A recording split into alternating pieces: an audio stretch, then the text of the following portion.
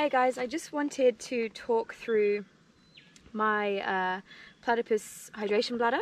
I've got the Big Zip Evo 3 litre um, and the thing that's cool about this one is it disconnects really easily. It comes apart, you know, with just the touch of a button. So the mouthpiece is off.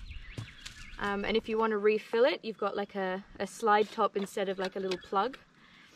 Um, and you can really easily sort of open it up to fill it. It's got this little grip on the front here where you can sort of grab a hold of so it's easy to pour um, and easy to fill up.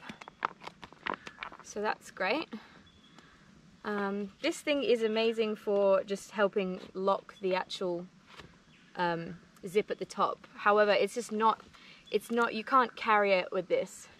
It's just not strong enough. It always kind of snaps off if you're putting too much weight on it. So I always make sure I've got my hand along the bottom.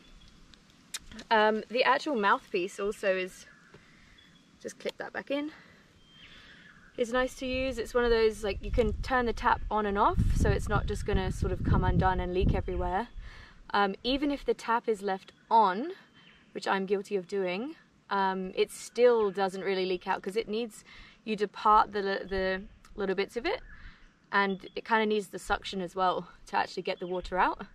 So there's the tap valve. Um, and again, like all of this stuff comes undone uh, really easily.